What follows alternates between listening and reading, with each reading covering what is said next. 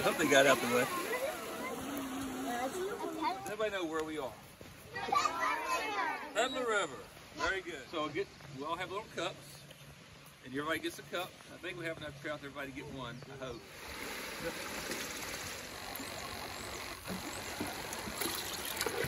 All right. So what we're going to do, every station has a net like this, okay? And what we're going to do is, and I'll show you here, I'm going to demonstrate to y'all here in a second. We're going to take this net in the water, and I'm going to need two people to hold it. So one person will hold the. I grew up doing this, and I grew up. My dad took me out to the streams and stuff. But part of my life growing up was being outdoors and, and being around the natural environment. But it's important, I think, for our students to understand the natural side of this thing too, and to be to experience that. Um, it's just great for me to be able to teach and them a little bit and understand what's going on in the natural world um, and expose them to things they're not exposed to. Especially here in Amherst County, we have a lot of resources that a lot of our kids don't know, really know about until we get them up here. So I have fun. They tend to have fun. It's a great day for the kids, so it's just it's just a it's an enjoyable day to have them here on the road.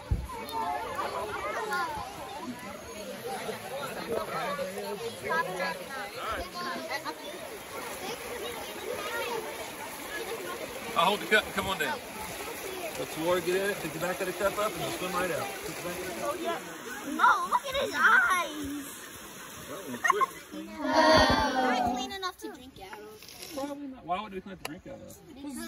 They, Who knows what an invertebrate is? Feel your back. Why do you feel up and down your back?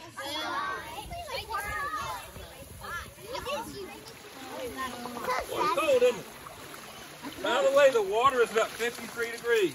Oh, Crawfish. Oh my god, look at that one. That's a big one. Oh my god. There's all kinds of stuff swimming in here. So when you identify these things later, you have to look at the tails. Mayflies have three tails up here. Do you see? Nature. Okay. There's a lot of it's trees. Okay, we're in the mountains. Being in the mountains means that we're what? A little bit hotter or colder than being in town? Colder, right? Because we're up higher. Look at the trees. We got to make sure we have good water quality. Okay? So all these trees and roots and stuff like that hold the dirt in place, which makes us have good water. Amherst County, every bit of rain that falls in Amherst County ends up in the, well, the water goes into the James River.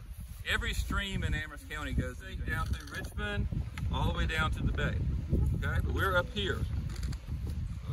And it starts way up here in the, in the mountains of Highland County and Bath County. All the here's where the river, James River starts. But it flows all the way down across the state. Okay, it's the biggest river, in- longest river in the Potomac, the Rappahannock, the York, and the James.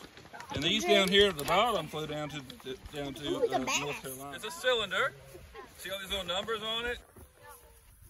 Going up, and it starts at what down here? What's this number down here?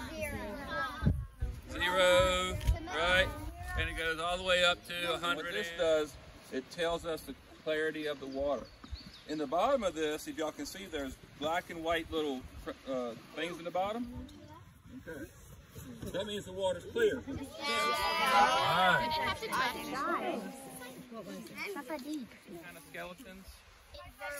Exo or in, are they inside or outside? Some of them have outside. They don't have like bones like we do. All right. So if we don't have all these images. I'm trying to get him through. Ah! Okay, put it behind us. The giant one? Yeah, no, it's mine. This place is better than school. I need.